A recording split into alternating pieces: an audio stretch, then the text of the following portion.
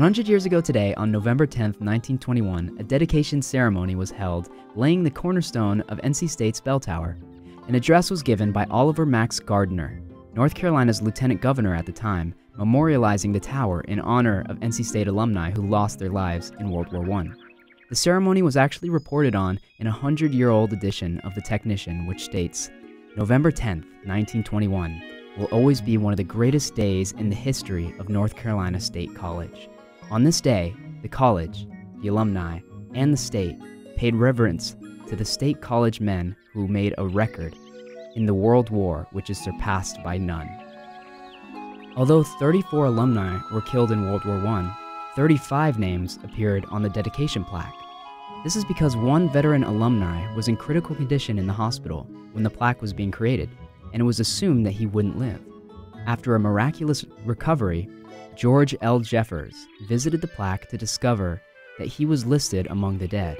He comes back, he comes in and looks, and there's his name on the plaque. They decided to change his name on the plaque. Look on the left-hand side, sort of right in there, and see if you can spot the name that they changed.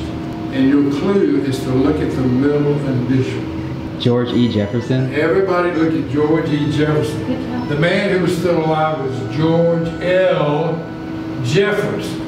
Uh, and they changed his L to an E, and they put an O and an N on the end of his name. Is that an actual person? When they did that, they said there was no known person at that time with that new name.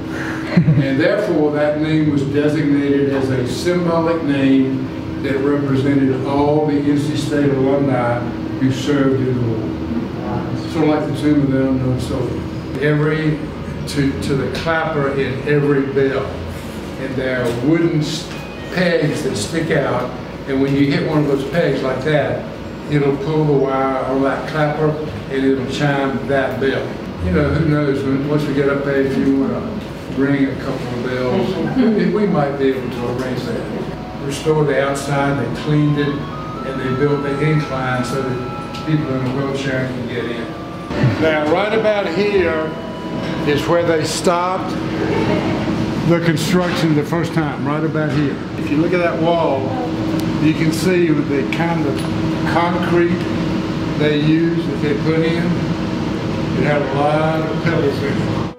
Completed in 1937, the bell tower stands 115 feet tall and was originally planned by Vance Sykes, an alumni of the class of 1907. Construction cost $150,000 and was made up of 1,400 tons of granite on top of a 700 ton concrete base.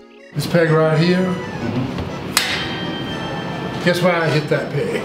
I'm not sure. That peg is connected to a bell with my name on it. Oh, that's so cool.